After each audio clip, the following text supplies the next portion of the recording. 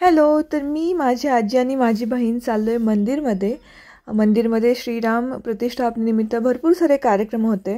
तर माझ्या माहेरी ग्रामदैवत आहेत श्रीराम आणि त्यांचं मंदिर खूप सुंदर असं बांधलेलं आहे. अयोध्येतील राम मंदिर प्रतिष्ठापनेनिमित्त खूप छान असं इकडे सुद्धा मंदिर सजवलं होतं. बरेचसे कार्यक्रम सुद्धा अरेंज केले होते. भजन कीर्तन वातावरण अगदीच छान झालं होतं. मंदिरामध्ये दर्शन घेऊन मग आम्ही तिथून निघालो. संपूर्ण गावामध्येच खूप भक्तिमय वातावरण झालं होतं. इथे बघू शकते भगवे झेंडे सर्वांनी लावले होते रांगोळी काढली होती दारामध्ये. इथून आम्ही आमच्या मावशीच्या घरी गेलो. तर मावशीच्या घरी रिनोव्हेशन चालू होतं आणि राजनंदिनीमुळे मला जाता आलं नाही मागच्या वेळी.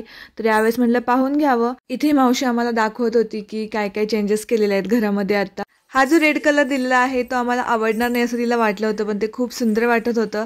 तिथून घरी आलो आमच्या आणि इथे राजनंदिनी तिच्या मामासोबत खेळतीये. मामा झाला की माऊ माऊ झाली की आजी आजी झाली की तिची पणजी.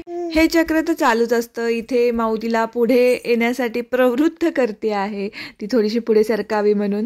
तर माझ्या राजनंदिनीला वर्ल्ड बेस्ट मावशी भेटली आहे असं म्हणायला हरकत नाही. खूप प्रेम करते तिच्यावरती. खूप सारे लाड करते तिचे आत्तापासूनच. आणि आता तर काय माऊ कोल्हापूरला शिफ्ट होते तर माझा पत्ता कट होणारच. तर हा एक मिनी ब्लॉग होता. आय होप तुम्हाला आवडला असेल. That's it for today bye